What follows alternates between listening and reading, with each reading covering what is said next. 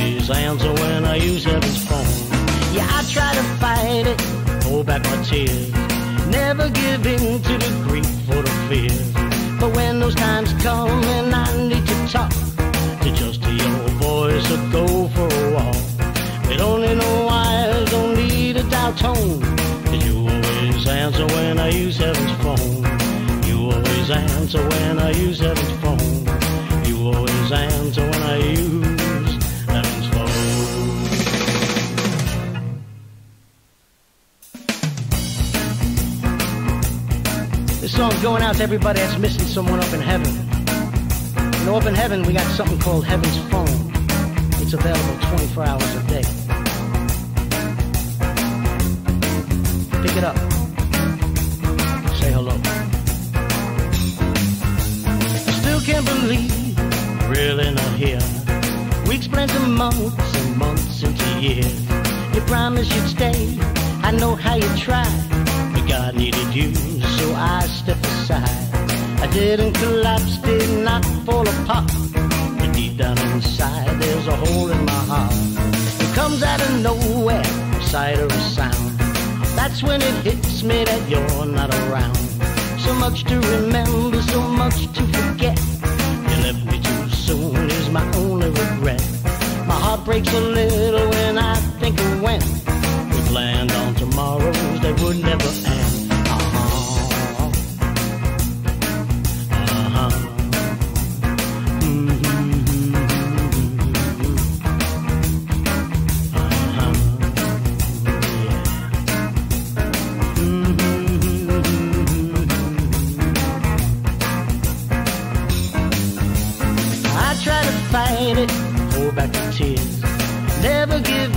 Give in to the grief or the fears.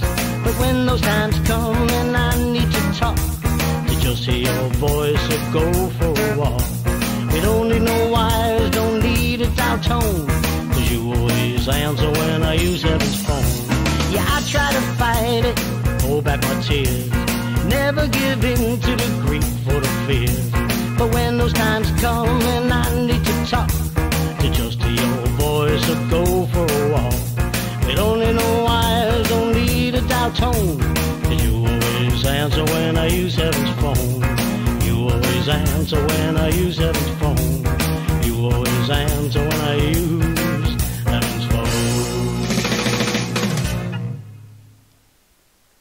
Hello, everybody. Songfather here for the Songfather Show on the 4th day of November, 2019. This is our 99th. Who's ours? Oh, yeah. 99th show. Ours is, of course, my co host Tino. There he is. Good looking dude.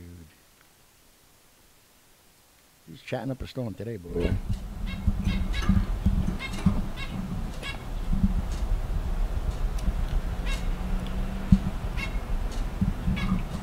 You good?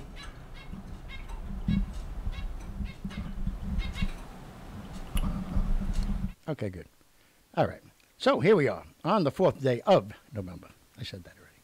2019. Said that already. 99 show. Said that already. All right, good. So anyway, I hope everybody had a nice weekend. The weather was uh, pretty good. It's uh, you know a little chilly right now on the island of Long. It's 58 degrees. Not bad, but it's been cloudy all day, so you didn't really get a lot of sun. But earlier, uh, wasn't too bad. But not the same uh, snow Friday, snow next Tuesday. Now tomorrow, if anybody forgets to vote for me tomorrow, there's something wrong with me because tomorrow's election day. anyway, Giants are on tonight against Dallas. This is uh, round two of the Toilet Bowl. The first round was the Jets against Miami, and the Jets got flushed down the toilet. So there you go. And um, the uh, the Prez man had uh, the Washington Nationals up to the White House today for their uh, to celebrate their World Series win and their very first ever franchise World Series win. So that was pretty cool, and uh, he did pretty good.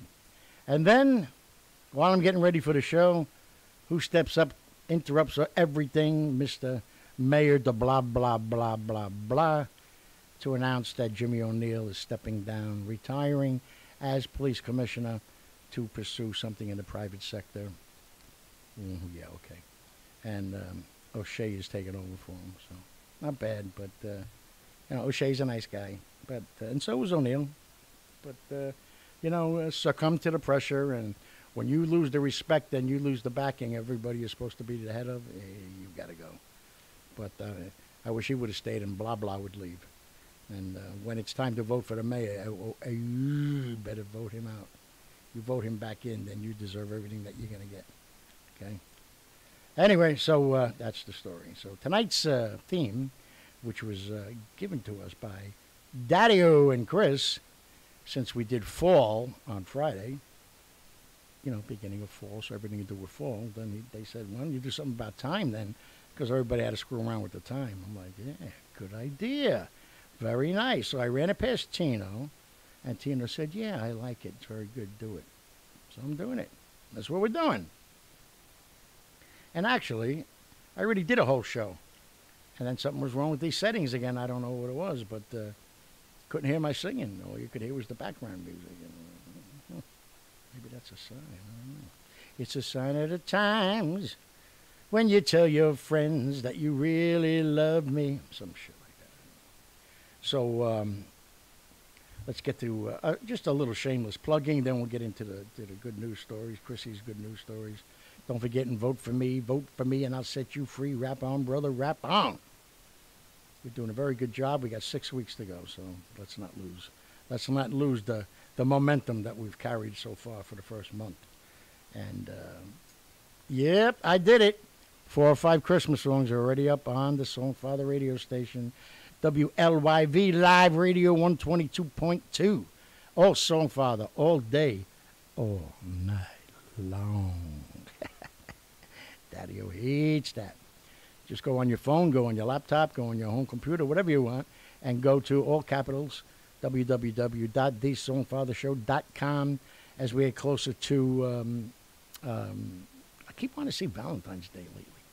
We get closer to Thanksgiving, uh, then I'll put you know more on, and then right after Thanksgiving, I'll put the whole rest of them on, and, and then all the fun ones too, the classics, with the millions and millions of views that it got. Paulie the big nosed Goomba. Frankie got run over by a caddy. Here comes menopause. And Dominic the frickin' donkey. Oh. Tonight, 8 o'clock, Fred Rubino and Christine. Get the food out of here. I don't know what they're making tonight, but it's always fun. He likes to go off on a tangent, and she reels him right back into that kitchen. Don't use that knife on that thing. What's wrong with you? Don't use this. Don't use that. Shut your mouth. Shut you. You're stupid. You're stupid. you gotta love it. Such a fun show. And every once in a while, don't forget, if you're not a member yet, go and join Rock in the Kitchen, Guy Talve, not your grandma's cooking show, that's for sure. And I think a lot of people are listening to me now because uh, they're starting to put up a lot of their own uh, their own creations. And uh, let me tell you, hmm, some good stuff out there. So yeah, yeah, let's not forget, shall we? So let's get to some Chrissy's good news extra, extra. Read all about it. And uh, then we'll get to some of these time songs. But, you know, let's start off with this first. Slowly but surely, it's starting to come under control a little bit. And as long as no other idiots go and start anything, I mean, the fact that the governor, who's a shithead, and we'll get to that another time. I know we'll get to it now. Uh, has has to go on and make an announcement. Please don't throw your cigarette butts out the window. Wow. Anyway, so um, him and uh, I forgot his name, which is good. but him and uh, him and the pres been going back and forth, and everybody's jumping all over uh, um, uh, President Trump, saying that he said uh, he's going to withhold now uh, any kind of assistance, monetary assistance, and he didn't say that. What he said is, it's time for you to get off your ass and start cleaning up. We went through this already once before. I sat down with you and I told you you need to start cleaning up the floor and this and that. And you need to start putting some preventive measures in to prevent this from getting to the level that it is now. You're seeing these pictures, you know. And uh, he didn't like the way uh, Trump had said that. Too bad. And uh, then um, he said, "Well, if you don't believe in in uh, climate change, then uh, you're excused from this conversation." Big tough guy, huh? Big tough guy. You got people crapping and, and pissing in every city that you have in, in California right now. All right, but you want you want to be a tough guy? You want to be a tough guy with your fingers on, on, on your computer? Come on. You know, you're way over your head. Get out of there before somebody burns you up. It's ridiculous. Absolutely ridiculous. So, and, and Trump didn't say anything wrong. And I don't get political, and I'm not getting political here, but he didn't say anything wrong that a leader would say. And of course, I was never the head of the United States, but I was the head of, of a big, gigantic, I can say now, they're not in business anymore, A&P, uh, and I covered good part of the United States and Canada. And I had to, I, I had to make decisions like that, and I had to say things like that. Like if you want you want help, you want help with your labor, you want help with your pricing. Well, you better start cleaning up your act. You better start cleaning those floors, and you better start doing this and making sure everybody's in uniform and this and that before I come in and start, you know, spending company money on you when you're not doing the right thing by us. It's the same thing here, so he did nothing wrong. So anyway, we get to the uh, Chrissy good news. And let's go over to jolly old England, shall we? Across the pond. An 11 year old scored the highest ever IQ score, beating Einstein. 11 years old. She scored 162. A genius scoring is 140 or higher. She scored 162, beating Albert Einstein out. She was born in Iran, and then sometime before her teens, they moved over to England, and of course, obviously a very good student. But the fact that she is, you know, being going to be in Mensa and everything else, that she scored higher than, you know, arguably the smartest guy in the history of the world, Albert Einstein. Look at her. She beat Albert, Albert Einstein. We're so sorry, Albert Einstein. but yeah, so congratulations to that little cutie right there. Look at those dimples. Unbelievable 162. Ah, very nice. So anyway, then we shoot over to Minnesota, and a couple had uh, a, um, I think it was a 12-year-old husky at home, and uh, they were out somewhere, and uh, they heard about this husky that needed to be uh, uh, rescued, adopted, whatever. And they went in, bonded right away, took him home. And him and the older husky got along from the start, from the very beginning, got along famously.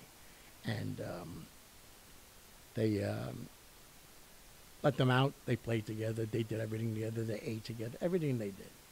Then, unfortunately, like Puff the Magic Dragon, which everybody thought that uh, you know, the little kid died. He didn't die, he just grew up. But I don't know how I got off on that subject. But um, the older husky passed away. So um, without able to be clinically diagnosed at depression, that's what this, uh, this other husky was going through. Already had a traumatic life, you know, dumped off at a shelter, not knowing what you're going to be, you know, and, and you know, the, the, the yelling, the screaming, the smell, everything else. It's a horrible existence for them. And uh, so now they get rescued. They got he comes home. He's got a pal to play with now. His pal's gone. Um, so they went and they got a, a, duck. They lived on a nice big uh, couple of acres in Minnesota, and uh, they were worried what was going to happen with the dog. So they kept the dog, the, the duck in a, in a cage, you know, almost like a dog's uh, you know travel cage or uh, uh, night cage that some people use, which I can't stand. Okay, get in the cage. See you in the morning.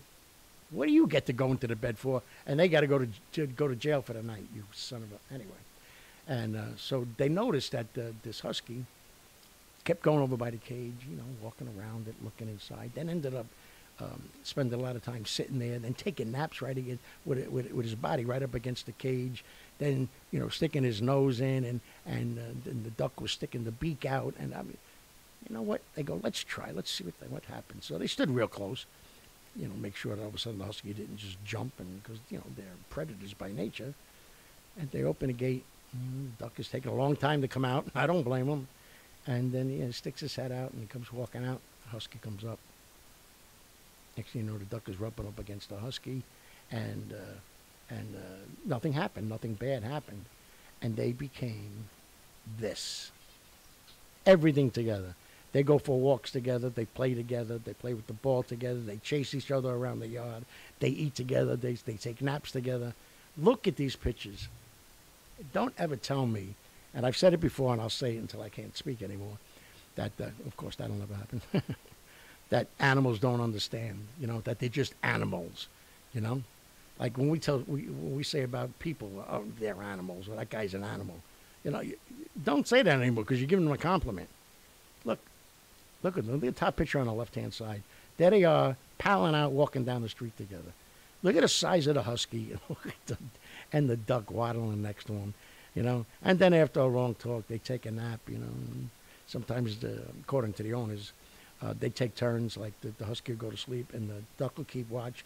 Then the duck will crawl up and take a nap and the husky will keep watch. And look at that. Oh my God, this story just, it just got me. So now they're inseparable. And they say that sometimes when they walk down that street, like you see in the first picture on the left, um, cars stop, not because they're walking in the street. Cars stop on both sides and pull over just to watch it like they've never seen anything like this before. So cool. So very cool. Good job. Good job.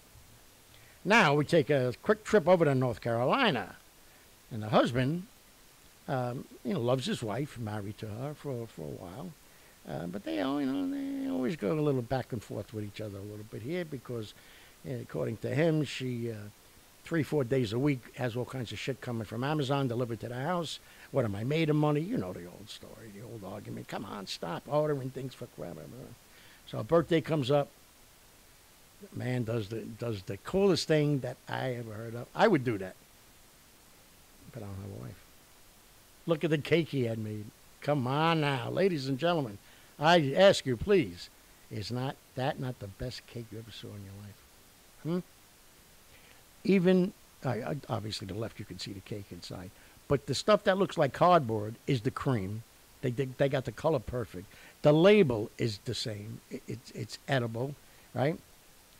even the edge where you can see the Amazon, you know, is, is like on the tape when you order from Amazon, you know. And you see Emily McGuire, that's her real name. One, two, three, four, birthday lane. And he wrote on the top, "Happy birthday, honey." You can't see the honey part, but what an unbelievable great idea. And um, they asked her, "So, what'd you think? Would you did you get mad when she saw that?" She goes, "No, I laughed my rear end off. That was that's the, the, that's the best birthday cake I ever had and probably ever will have in my life." No, very good. Love it. If you're not smiling and you're not busting chops and having fun in your relationship, you are doomed. Doomed. Not dunes, doomed. and then over in New York, right here in the state where I live, an eight year old, eight years old,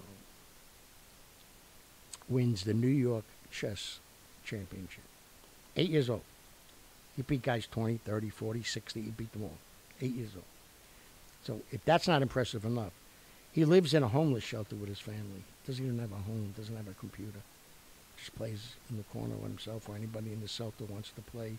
On days we can go out, he goes down, you know, where the park is, and they play, and he plays the people down there. And uh, he's well on his way to becoming a grandmaster of chess, and his goal is to become the youngest um, chess master, grandmaster of chess ever. Eight years old. Look at this guy. Look at that face. Eight years old. That's one of the matches that he won.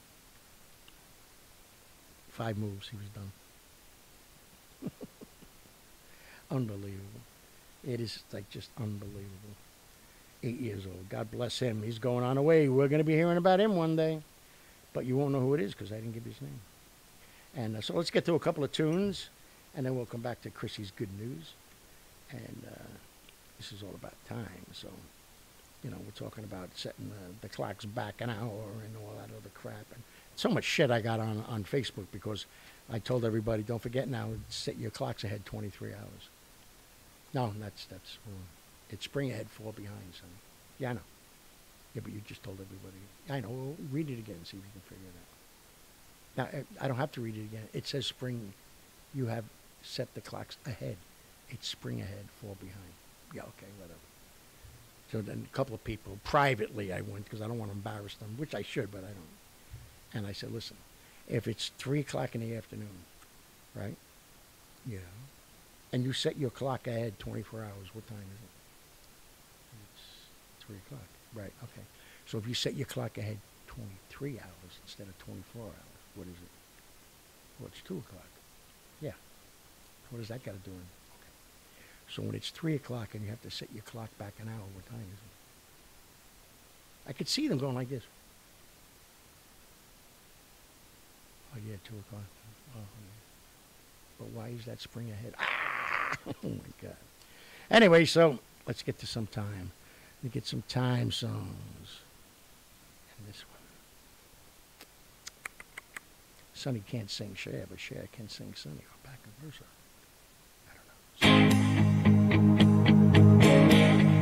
If I could turn back time, if I could find I'd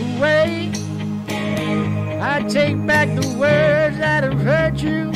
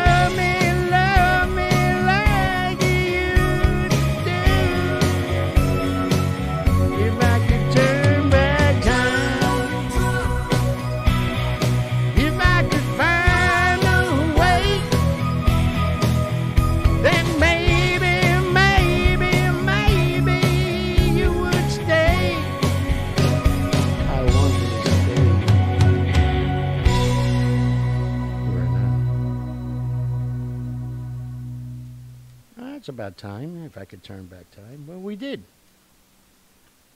But now. Glen Campbell's talking about some time.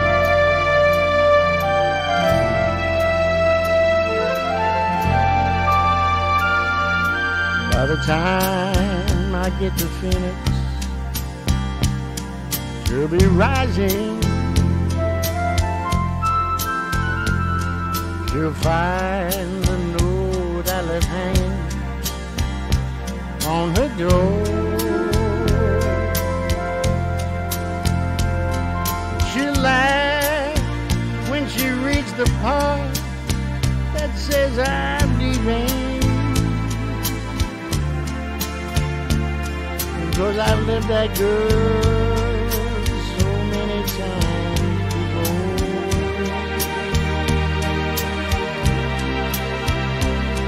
By the time she'll be working. She'll probably stop at lunch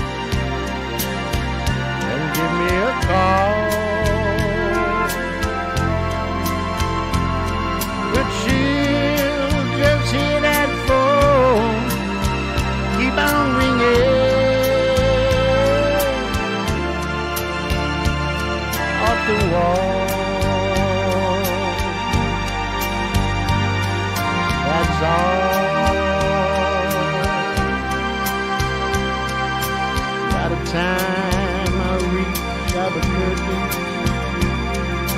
Be sleeping. She'll turn softly, call my name out low. She'll cry just to think I'd really leave her.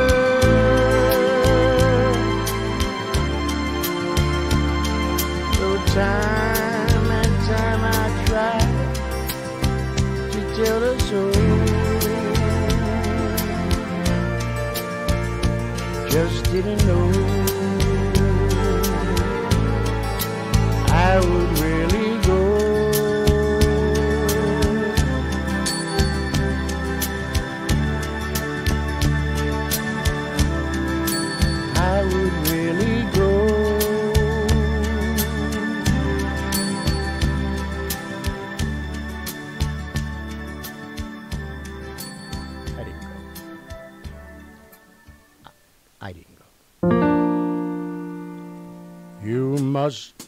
remember this. A kiss is still a kiss.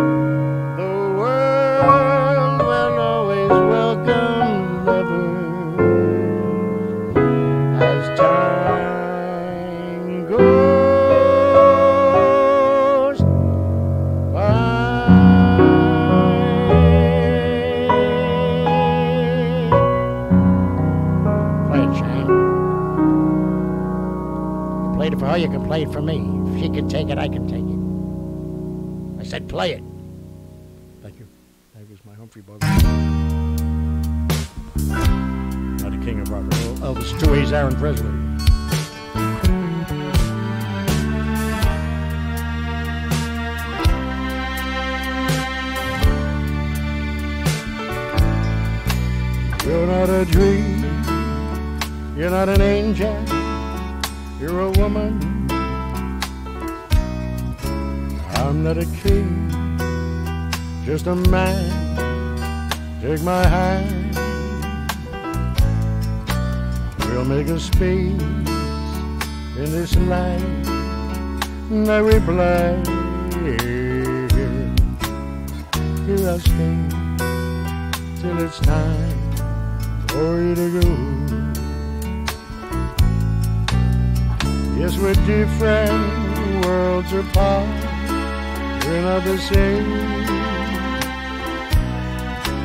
We left and played at the star right in the day. You could have stayed outside my heart, but in you came. Will you stay till it's time for you to go? Oh.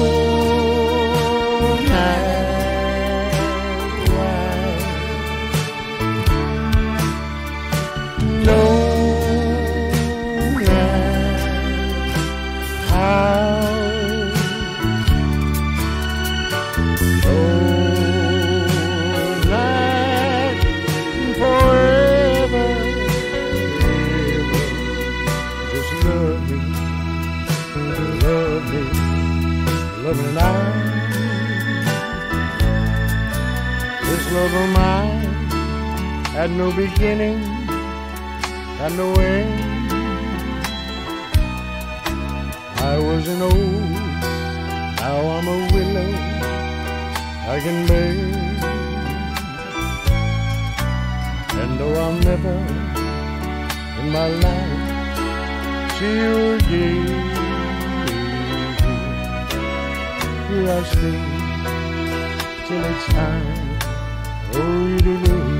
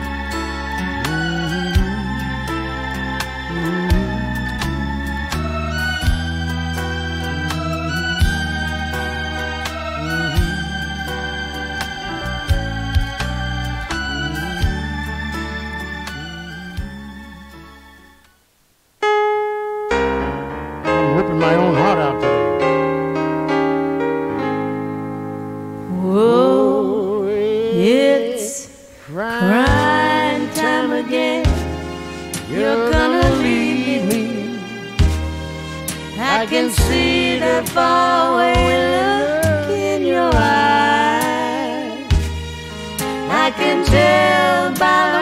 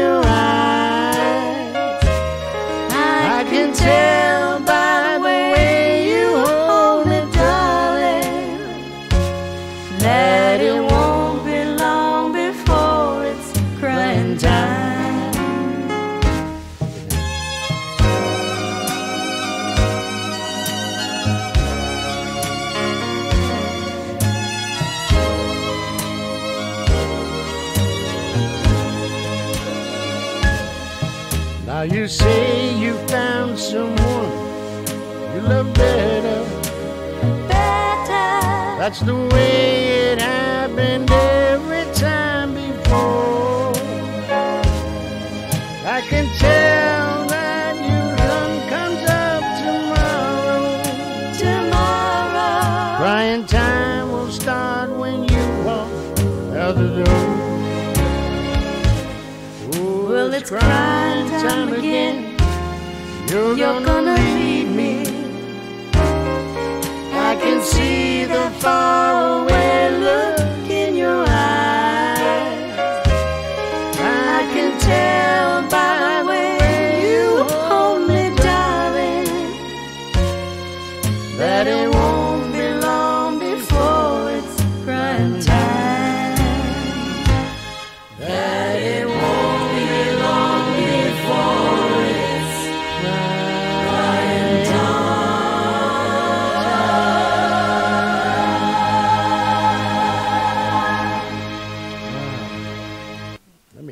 myself a break here.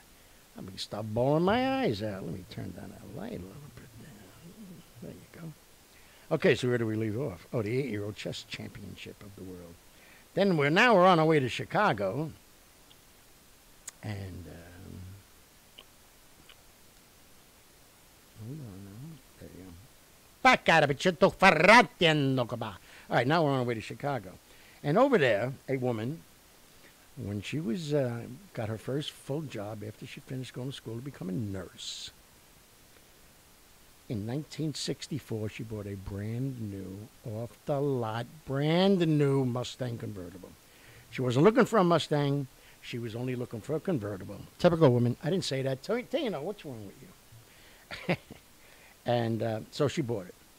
And her whole family got to use it. The brother, two sisters, mother and dad. They only had one other car. And, you know, things were tight and they stuck together like families are supposed to do. And uh, then she met somebody and got married and took the car with her. And it lasted about 15 more years and then it just died. And uh, so she wanted to get rid of it and turn it in. And the husband saying, no, no, no, you don't do that. Just why it doesn't work. We've got a nice car and, you know, we're building a family and we just bought a house. And, but no, I'll, I'll, I'll get it to work. I'll work on it. And he put it in the garage and it stayed there for X amount of years later. He never, you know, never put a wrench to it or anything. So now he's retired and he starts working on the car. And he's going all over the place, eBay here, this, using the internet, like trying to find parts, because he wants to keep it original and keep it as mint and cherry as he can. And uh, so uh, he's noticing that uh, there's this man that's getting a lot of accolades as, ha- excuse me, having the very first um, 1964 uh, Mustang that came off the assembly line. He's got the very first one. And he bought it on April 16th, 1964. Goes running into that. Honey, honey, honey, when did you buy that Mustang? She's like, what? When did you buy the Mustang? 64. He goes, no, no, I know, but what was the date? I'm thinking it was the 15th because I don't know. I just remember something about, you know, the date and April 15th and taxes and the due and the.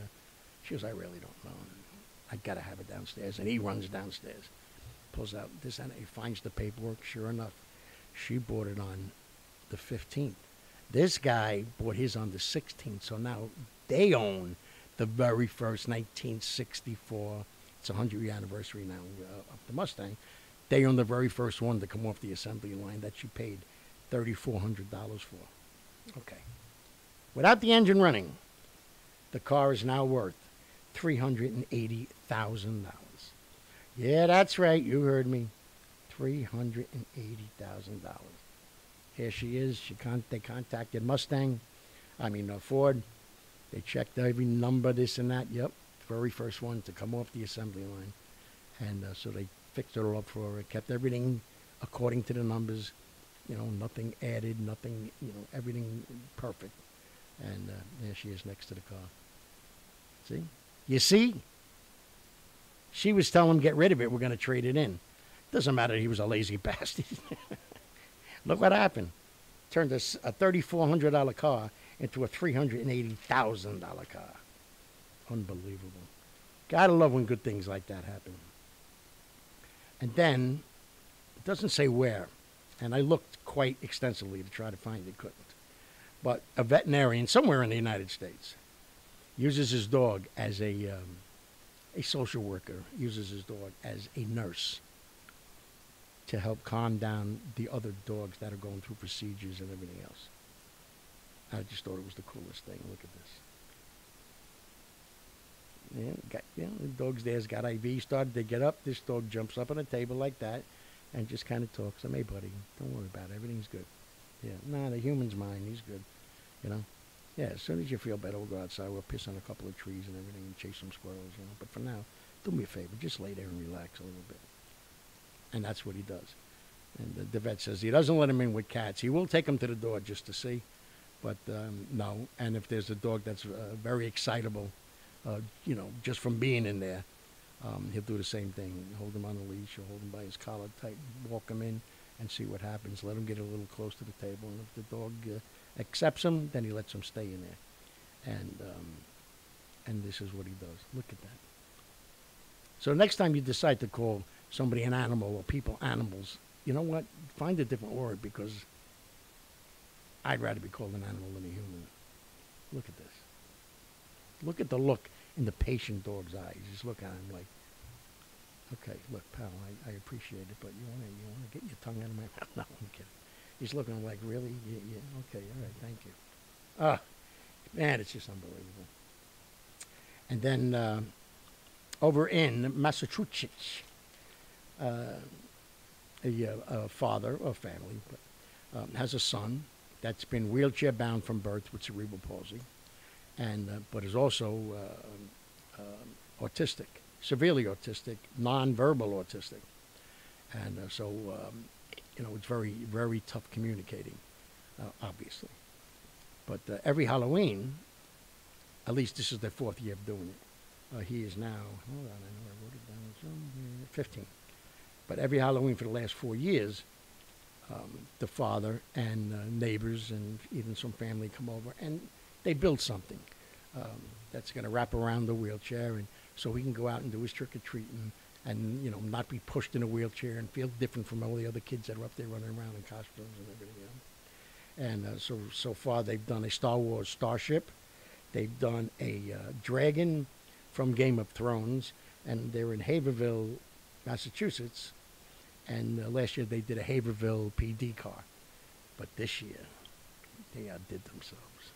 Check this out. Ready? Look at this.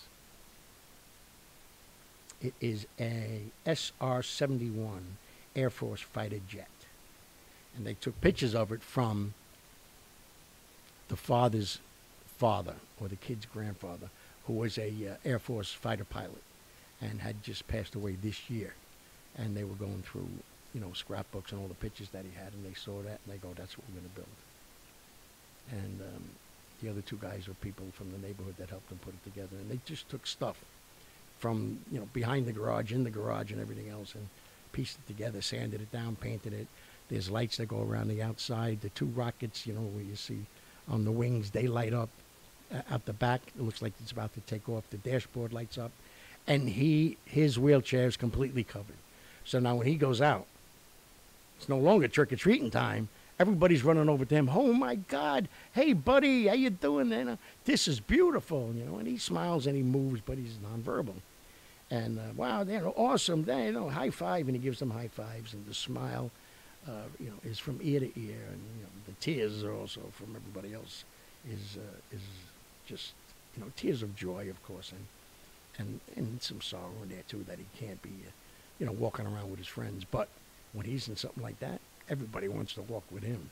So good job, Dad, and the and the, the neighbors and friends and everything else. That is, uh, to me, that's a home run. I think that's just unbelievable. It really is. And uh, okay, so that's the good news. We're done with the good news. We're at 47. Good. And uh, we'll just finish up now with some timely songs. And uh, then we'll send you on your merry way on this 99th show, if you could ever believe it. This is Mr. Paul Anka's. Because what we're doing all is really the times of our lives. Should have played a song by the times. As we stroll along together.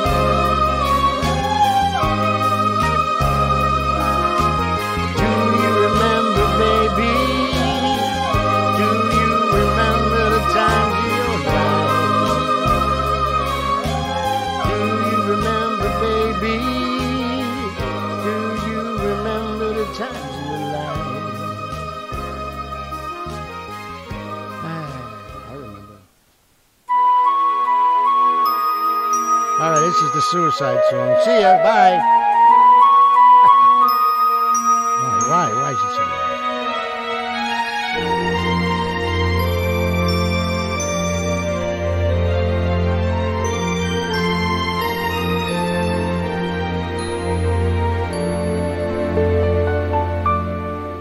Once upon a time,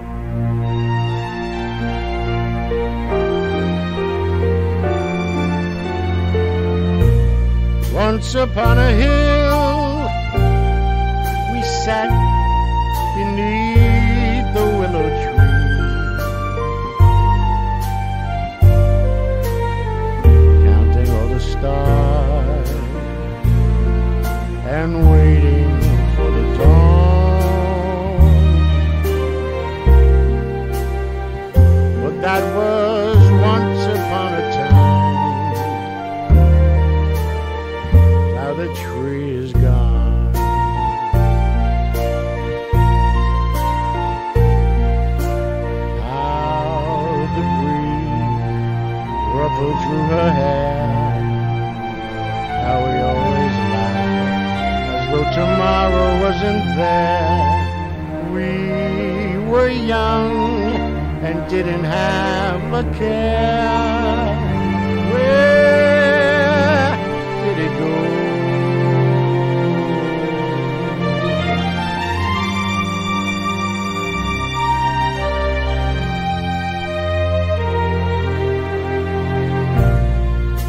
Once upon a time, was sweeter than we knew.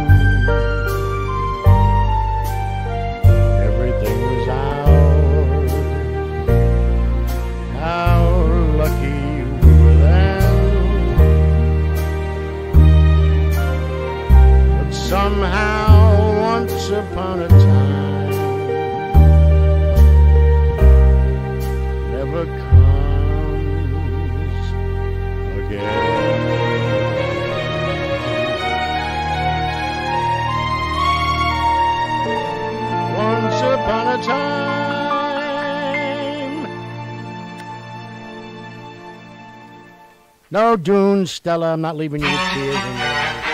Here we go. Heavenly shades of night are falling. It's twilight time. Out of the mist, your voice is calling. It's twilight time. When purple colored curtains mark the end of day, I'll hear you, my dear, at twilight time. In the dark and shadows gather, slaves done. Fingers of night will soon surrender the setting sun. I count the moments, baby, till you're here with me. Together at last at twilight time.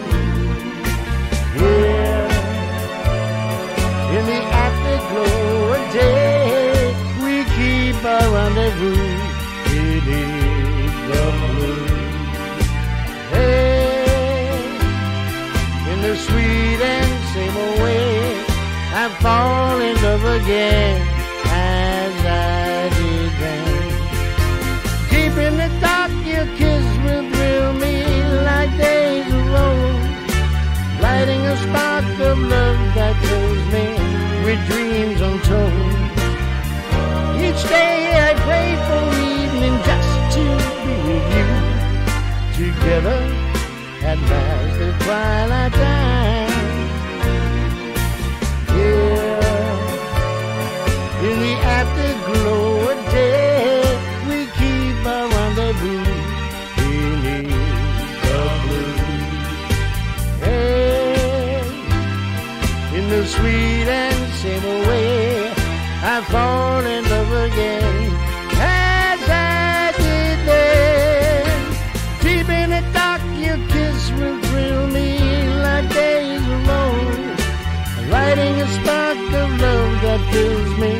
with dreams untold.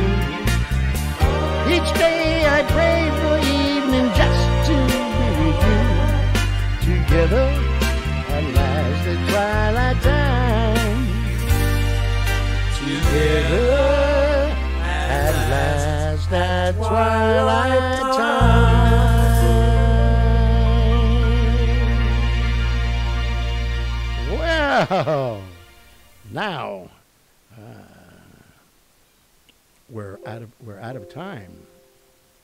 The hell's that? Oh. We're out of time on the time show. You get it? Time, time. there goes Daddy O. Chris, he's doing it again. He was pretty good the whole show. Now he's a schmuck. He's acting like a schmuck. Chris, Chris, he talked to him. No. All right, so that's the show. We were at the uh, 57 minute mark, so I want to get in before an hour. Don't forget. Don't forget. Where is it? Don't forget. Tino, he loves you. Don't forget to vote. Vote. Vote for me. Don't forget. A lot of nice songs, Christmas songs on the Songfather Radio Show. Don't forget Freddie Rubino tonight, 8 o'clock. Get the food out of here. Don't forget Guy Tave rocking the kitchen. Don't forget, don't forget anything. Don't forget tomorrow will be the 100th Songfather Show, which is quite amazing. We're at 57 minutes and 35 seconds. so thank you, everybody. Thank you very much for everything that you do, for the smiles you bring to my face, for always backing me up and showing support. Keep voting, keep sharing. And we will see you tomorrow. I don't know what I'm going to do yet, but it's going to be big. It's going to be huge. 100 shows. What are you kidding? I must be something special. So I love yous. Tino loves yous. Have a good night. I'll see you now, and we'll see you tomorrow. Bam!